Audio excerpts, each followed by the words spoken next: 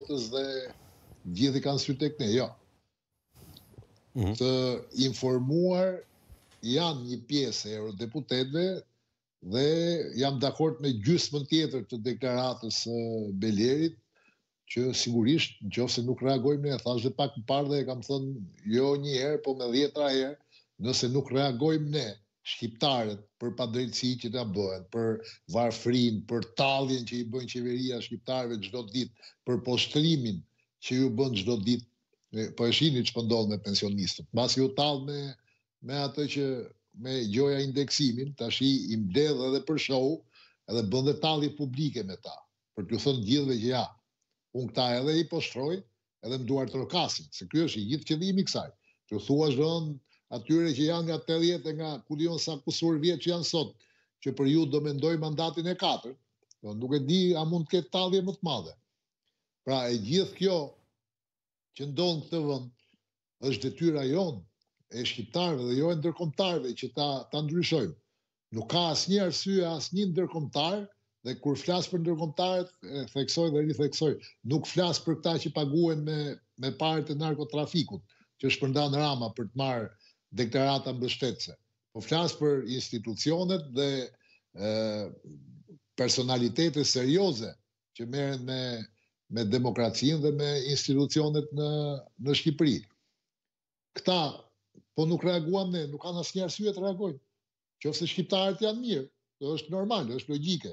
Qoftë se shqiptarët janë mirë dhe nuk reagojnë kundër qeverisë tyre, pse u dashka të reagojnë ata. Pastaj, fakte të tilla të rënda, sepse edhe këtu ka dy anë. Mm -hmm.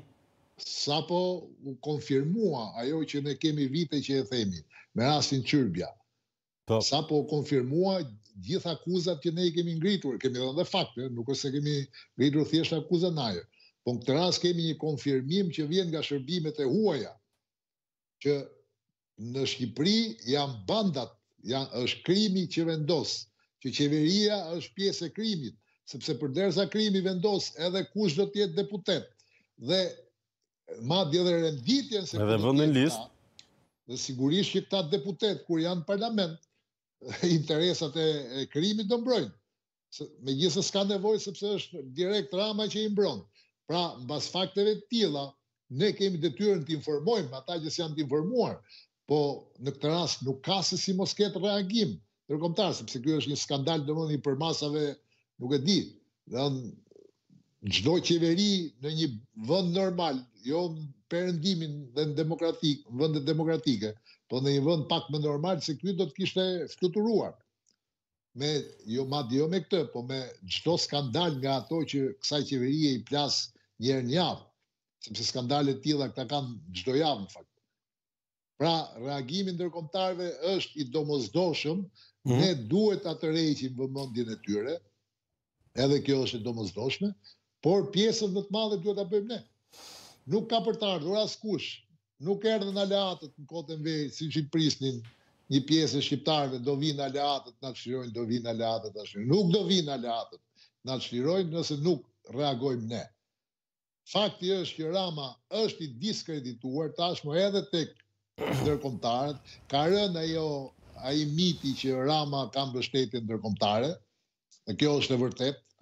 Nuk ka institucion që t'i, t'i dalin krah Ramës.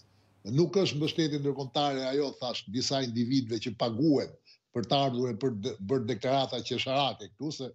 sigurisht kur je paguar për dhe vjen dhe thua ky është lideri më i madh i historisë, se ky është lider ndërkombëtar, dhe te shqiptarët vetëm qesharak bëhesh, edhe e kupton dhe edhe derri dhe,